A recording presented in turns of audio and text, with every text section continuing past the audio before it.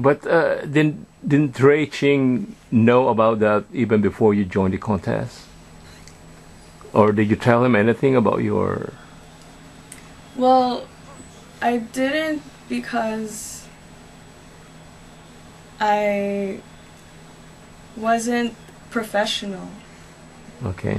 And the the terms of the contest is contest is that you must be an amateur, non-professional individual to join and I wasn't making money off any music. I wasn't doing gigs, paid gigs. Like I was I was still an amateur. You know, I I was making my own music and I had the means to produce my own stuff, but I never sold it for my own profits. Hmm So, i- i- in that sense, you're not uh, a professional. You're simply an amateur. Yeah. And Ray Ching was telling you that because you had recorded your own song, that you are disqualified from winning. Is that correct? Yeah. Or from joining the contest? From he told me that I because of that situation I'm not able to receive the cash prize and the song with Venny. And he basically he gave me an ultimatum. He said either we ignore this thing and you keep your title but you don't get a song and you don't get a you don't get the cash prize or we strip you off your title and give it to the second place winner and he was like you know we don't really want to cause any drama being that this is the first Star Ka Na contest in Toronto and so So, what did you decide? Well, we thought about it, and at that point, I was just very upset because we spent all this money trying to sell tickets, um, and they weren't cheap tickets to start with. You know, getting people um, to come out to the show, and on top of that, there was there was a, a fee for contestants to be in the grand finals. And so, like, all this money was accumulating. And then I won the contest, and I was, like, really happy. And then we have the situation. And when Ray told me, when Ray sat with us, I was just like, well, what do I do? So, uh, he told you about this right after. Yeah, But before- it was, it was a couple months. Yeah, but but at the time that you were selling tickets and racing, uh, asking people to Come to the event. to come to the event, nobody was telling you that you know you would not be qualified because you had this recording of your song. No. Well, So they're trying to disqualify you or disqualified you after. yeah. Okay. I mean, nowadays, if you can sing, you you have you have SoundCloud, you have YouTube, you can be online and be heard. You know, there, it's 2015. Um, independent music is, you know, it's very popular. There, anybody can pick up a guitar and put their song online. And so, me being non professional, that's just me getting my voice out there.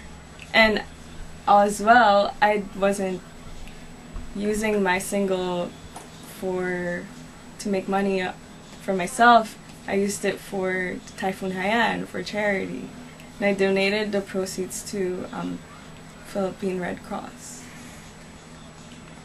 So at the time that uh, you were given the the the reward or your winnings, what happened then? Um, Who were there at the time? the the night of the awarding, Rob Ford made an appearance and made a speech as well. Mayor Rob Ford. Yeah. Okay. And also the headlining event was um, Filipino celebrities Arnel Ignacio, Gelli de Belen, and Derek Ramsey. Okay. And we were actually being hurried the event the the contest because the show was running late. So we were being rushed for the celebrities to come out that night. Okay. So at the time you were given the uh, what what what is it? The prize? the prices? Yeah. Yeah. The that time so the awarding When was happening so the awarding was happening they gave us medals they gave us trophies but there was On no, stage? on stage Okay. but there was no cash prize in hand i've been to so many other competitions and they would give you every all the prices and the contract and everything right on the spot right the day that moment that you become the champion but in this case they were like oh we'll just follow up So did you complain about not receiving your cash prize yeah during the time? Yeah, I did. I um, contacted Ray several times. We emailed Chamber of Commerce. They weren't answering. Who in the Chamber of Commerce? Who in particular? Um, an. I don't know. You don't know any official there? The we were given an email to contact. Okay. Uh, so how many people were you trying to contact in the chamber? In the chamber, um, Yeah, just give me a number and later we can check the names. We just re- we I we got a hold of an an email from one of the um like producers of the contest. You don't know the name? I can't tell you right now. Okay. So outside of that, uh, you had the contact with Ray Ching. Yeah, Okay. because cause every time cause um I would always be told to direct my attention to Ray anyway. Who? Who were telling you that? um, when when we would receive an email from chamber, which took quite a bit, um, they just said we we said that oh I'm the winner of Star Ka Na and haven't received my cash prize. They said please direct your attention to Ray Ching, but Ray Ching was like, oh I don't handle the money. You have to talk to the Philippine Chamber. So uh, to join the contest, were you required to sell tickets or ask people to witness it? Yeah, we we had to sell a certain number of tickets. So during the elimination, we sold thirty tickets for ten dollars each, and then the grand finals we sold twenty five dollar tickets for how many? 30 also. Thirty also. Okay. So all in all, you raise uh, more than a thousand dollars, Is that correct? must have been. and these were the, the, the money were the money was given to the chamber or to Yeah, Ray Ching. for chamber, Philippine chamber. So it was turn you personally turn over the money to the chamber. Um, yeah, Do you know who the person who received it? Um, Cheryl. Well, we would, cause the the handlers of the contest, we would only speak to them, and then they'd take care of the money and send it over to Philippine Chamber of Commerce. Okay.